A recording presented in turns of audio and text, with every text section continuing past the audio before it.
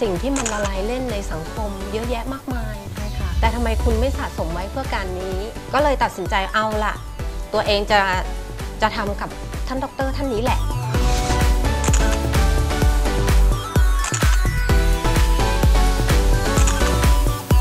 ถ้าเรามันไม่แน่จริงเนี่ยนะคะ ไม่ว่าจะเป็นเรื่องของศักยภาพ ผลงาน จิตใจ หัวใจ คือสิ่งที่เราต้องการให้คนไทย ก็มันมีปัญหาเรื่องหนังตาไงคะ เรามีนเป็นไงอะมันตกแล้วก็ห้อยย้อยเอ้าตาเป็นเหนียงเป็นไขมันเยอะแยะไปหมดเลย ถ้าไปทำตาเทคนิค เย็บเล็กๆจุดเล็กๆอ้าไม่มีทางหายค่ะมันต้องเกลี่ยไขมัน มันจะต้องเก็บหางตา ตีนกาทั้งหลายแหละมันก็จะหายไปนี่แค่หนึ่งเดือนนะคะ ให้ทุกๆคนนะคะนำเก็บไปคิดเป็นการบ้าน แล้วก็ตัดสินใจอย่าไปที่ไหนนะคะ เข้าร่วมโครงการกับท่านด็อกเตอร์ค่ะ Face Off เท่านั้นช่วยคุณได้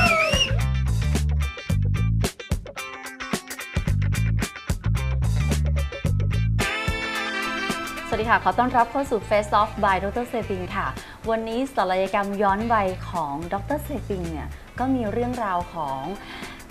จะบอกว่าสาวน้อยก็ไม่น้อยแล้วนะคะ เพราะว่าจะ 50 แล้วอะค่ะ ก็เธอเป็นสาวชาวไร่ปลูกมันสำปะหลัง ราะฉะนั้นนะคะ ท่านใดที่เป็นชาวไร่ชาวสวนเนี่ยเดี๋ยวดูตัวอย่างกันนะคะว่า เธอก็กล้าที่จะลุกขึ้นมาทำศัลยกรรมย้อนวัยให้ตัวเองดูดี ดูสวยเหมือนคนอื่นเขาบ้าง ก็เขาเรียกว่าความสวยอะ่ะมันหยุดไม่ได้ใช่ไหมต้องมารู้จักกันนะคะ เธอน่ารักมากแล้วก็มุมมองความคิดของผู้หญิงคนนี้ ไม่ธรรมดาจริง ๆ ค่ะ สวัสดีค่ะพี่วันค่ะ สวัสดีค่ะท่านดรค่ะ ดีใจมากที่ได้พบท่านด็อกเตอร์ค่ะ น่ารักแล้วก็สวยเป็นด็อกเตอร์คนดังที่ได้มาเห็นแล้วก็สมดังที่ใจปรารถนาจริง ๆ ตื่นเต้นยังไม่หายอยู่เลยค่ะ เดี๋ยวเกาะเก้าอี้ก่อนค่ะ เดี๋ยวจะลอย ตื่นเต้นจริงเหรอคะจเนี่ยริงโอ้ความดันขึ้นเลยอะค่ะ เพิ่งเดินทางมาถึงค่ะใช่นะคะ นั่งรถประจำทางมาด้วยมีค่ะความพยายามสวยมากนะคะแล้วแล้วก็มีน้องมาเป็นเพื่อนคนนึง ค่ะ ดรเซวิงทำไงคะ ต้องการให้ตรวจร่างกายก่อน เพื่อการเตรียมพร้อมเตรียมตัวที่ดี เปิดห้องพักอย่างหรู้เลยให้นอนเนาะก็เป็นคนเข้าร่วมโครงการแล้วน่ารักมาก ต้องดูแลกันและกัน ค่ะ ดูแลดีมากค่ะ น่ารักมาก ขอบคุณมากค่ะ ปัญหาก่อน อายุอานามเนี่ยตอนนี้เท่าไหร่แล้วคะ ตอนนี้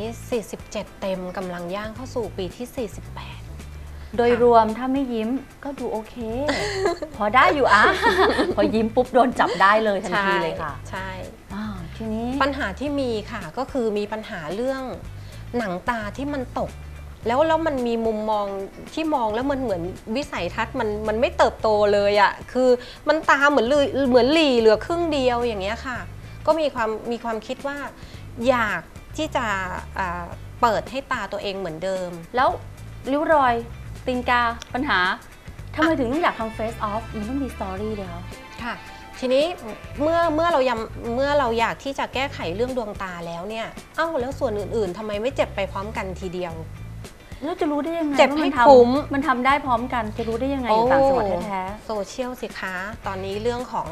การสื่อสารเทคโนโลยีต่างๆ มันเป็นเรื่องของ แม้แต่หมู่บ้านกะเหลี่ยงก็เข้าๆแค่ถึงปลายค่ะนิ้วเท่านั้นเอง ใช่ท่านดปึ๊รบเดียวค่ะก็รู้กันทั้งประเทศแล้วนะ ทั่วโลกเลยค่ะ ใช่ ถ้าจะดูกันตามแผนที่จริง ๆ หมู่บ้านที่ดิฉันอาศัยอยู่นี่คือตกขอบชายแดนกันเลยทีเดียว แต่ว่าเรื่องของเทคโนโลยีเดินทางเข้าถึงแล้วค่ะโอเค เพราะฉะนั้นเราประมาทไม่ได้นะคะ สาวตจวอยากสวยเนี่ยค่ะเธอค้นหาทุกสิ่งอย่างใช่แต่ก็ต้องมีเรื่องของบุญด้วยนะโอ้ถ้าอันคนนี้มีกรรมก็จะไปค้นเจอ แล้วก็จะถูกดูดถูกดึงไปในสิ่งที่อาจจะทำให้เขาเสียใจ แต่ว่าพี่วันมีบุญหรือเปล่าคะ มั่นใจค่ะ มั่นใจ มีบุญค่ะ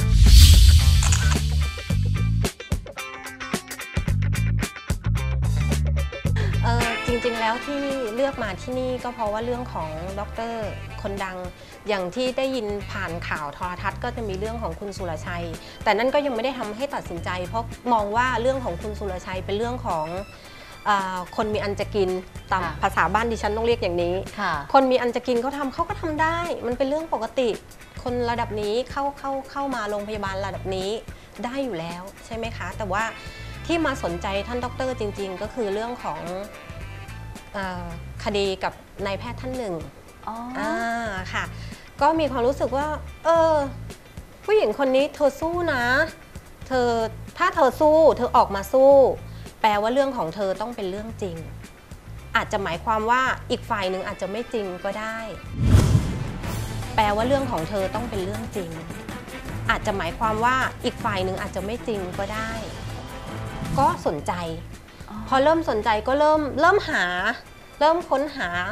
ข้อมูลใช่ประวัติใช่ค่ะผลงาน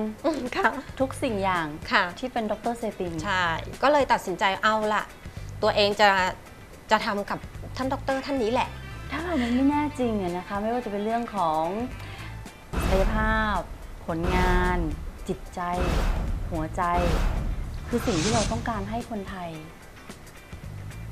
นี่หแหลังละจากนั้นเราคืแอผู้ดหญิงไลเก่น์งกันใช่ค่ะ แล้วเราก็ได้คุยกัน ค่ะ ใครเป็นคนตอบไลน์พี่วันคะท่านดรค่ะ รู้ได้ยังไงคะ รู้ลักษณะอาการที่ลักษณะเนี่ยเหมือนกับที่ในโทรทัศน์เลย ข้อข้อมูลหรือว่าข้อความที่ตอบไปเนี่ยเหมือนกับตรง ใช่ฟันธงชัดเจนค่ะ อือหือแล้วใครได้แชทไลน์ดรเนี่ยจะรู้อะไรดีๆ เยอะด้วย โดยส่วนตัว ค่ะ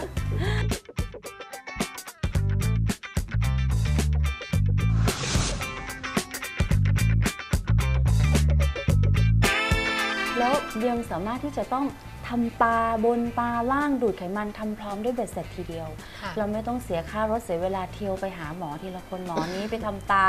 หมอนี้เอ่อจะไปดึงหน้าก็อาจจะได้ดึงแค่ล็อกเดียวนิดเดียว ถูกไหมเขาก็ไม่ได้บอกเราหรอกเขาจะบอกว่าเราเราจะได้ดึงทั้งหน้า ต้องมีสติคิดนะคะ ว่าดึงทั้งหน้ามันคืออะไร ดึงทั้งหน้าเนี่ยมันคือต้องเริ่มแบบปลายขมับนะคะ แล้วก็ไล่ลงมาที่บริเวณหางตา ถุงใต้ตาล่าง ค่ะบริเวณแก้ลองตรงนี้มนจะมาเลยเนอะใช่ ค่ะ แก้มล่องแก้มถูกดึงขึ้น มุมปากแล้วก็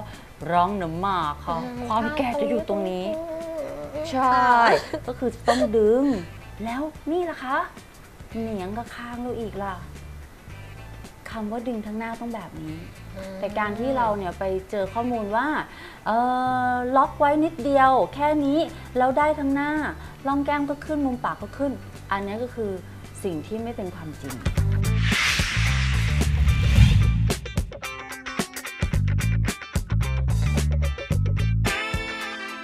สาวคนนี้เก่งจริง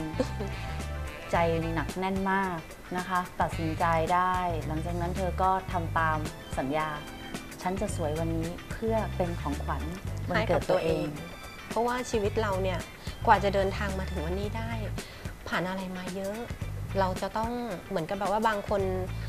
เสียเงินไปกับสิ่งที่มันละลายเล่นในสังคม เยอะแยะมากมาย ใช่ค่ะ แต่ทำไมคุณไม่สะสมไว้เพื่อการนี้ อืมฉลาดคิดมากเลยเนี่ยเขาเรียกฉลาดสวย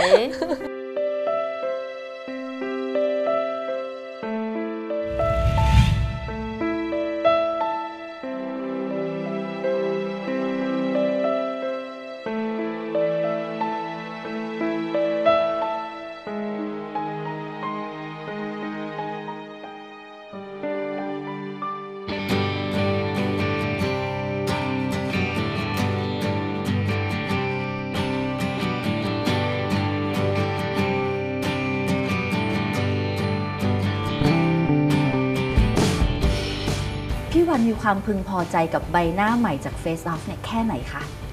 มีความพึงพอใจมากค่ะ มากขนาดไหนเพล่ะราะมันมีความเปลี่ยนแปลงค่อนข้างสูงมาก ก็เรียกว่าอะเกินคาดก็ได้ เกินคาดเกินคาดชอบจังเลยอะคำเนี้ยหลังจากทำ Face Off เสร็จ ก็ชีวิตก็สว่างไสวัยขึ้นค่ะ มีความสว่างไสวัยทั้ง ภายนอกและภายในหมายถึงภายในจิตใจก็สว่างไสวัยขึ้นด้วย อุ้ยคำนี้สวยอะชอบฉลาดสวยเนี่ยที่พูดคำแบบเนี้ยสว่างในจิตใจมันเป็นยังไงคะมันมีความสุขขึ้นค่ะ การใช้ชีวิตประจำวันเราก็รู้สึกดีขึ้นมาก ๆ จากที่เคยรู้สึกว่าเหมือนโลกนี้มันช่าง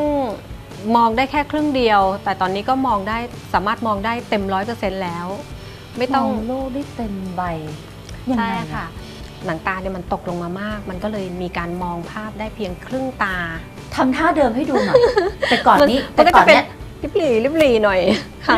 ไอ้ลิปหนีบนี่คืออะไรคะ ไขมันมันมากองห้อยแล้วก็ตาใช่มันแบบว่าเวลาดูอะไรก็ต้องทำอย่างนี้หรือเปล่าคะ ใช่ ตา มันก็จะหลีเวลาเราอยากจะมองอะไร เราก็จะต้องเลิกคิ้วขึ้นไปเพื่อเพื่อให้ตาเรากว้างขึ้น ถูก หลายๆคนไม่เข้าใจนะคะว่าไอ้การเลิกคิ้วเนี่ย คือเพราะว่าตาเนี่ยมันมีไขมันเยอะหางตามันตกแล้วมันก็ต้องเลิกลืมขึ้นมาแบบนี้ใช่ไหมคะแล้วที่อะไรต่อมาเนี่ยไหมคะเป็นของแถมริ้วรอยล่องหน้าผากใช่ค่ะ แล้วบางคนก็ต้องขมวดคิ้วด้วย อันเนี้ยคือสิ่งสำคัญค่ะวัยของเรา นี่ก็มันก็ไม่ได้วัยมากนะ อายุอานามก็เกือบ 50 จะดูมาประมาณคน 60 โอ้ ใจร้ายจังเลยดรใจสร้ายติงเนาะ ใจร้าย โอ้ my god เนาะร่องแก้มใช่ร่องน้ำหมาก มุมปากตกค่ะ ก็จะมีหน้าตาเป็นอาวุธนิดนึง เป็นอาวุธคือทุกคนไม่กอย่าล้าเข้าค่ะใกล้ใช่ไม่มีสามี เพราะอย่างนี้นี่เอง หน้าโหดอะหน้าโหด อันนี้เรียกโหดพร้อมรู้ไปพร้อมมีเรื่องเพราะมีเรื่องดุเอาเรื่องอะเออแต่ตัวนี้กลายเป็นคนน่ารักดูแบ๊วแบ๊วๆอะมีใครชมบ้างคะหลังจากทำเฟซออฟเสร็จแล้วเนี่ยก็ก็ชมค่ะคนที่รู้จักกันก็จะชมส่วนใหญ่ก็เห็นแล้วเขาก็จะเห็นถึงความเปลี่ยนแปลงที่มันเปลี่ยนไปเขาก็จะถามไทยดู แล้วก็ให้คำชื่นชมว่าเออเปลี่ยนไปมากนะดูดีขึ้น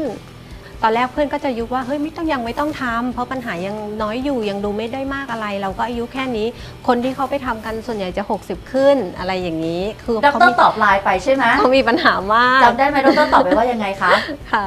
บอกว่าเขามารู้เท่ากับหมอได้อย่างไร คนที่พูดคอมเมนต์แบบเนี้ย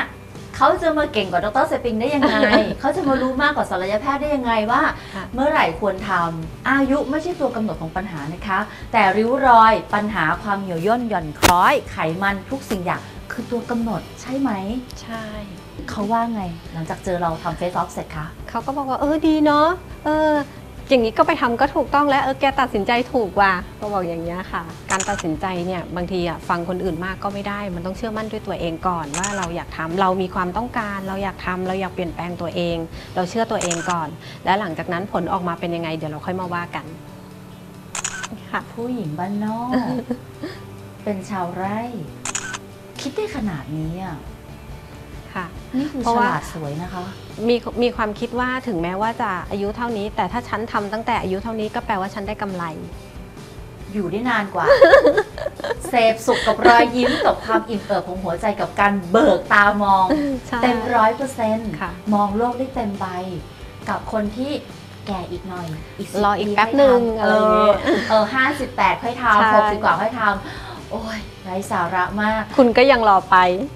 ไม่รู้จะอยู่ตรงนั้นหรือเปล่าด้วยค่ะ ถูกต้องไหมคะค่ะ เพราะคนเรามันไม่แน่นอนได้ทำว่าก่อนก็ได้ใช้ก่อนค่ะถั่วต้มของจริง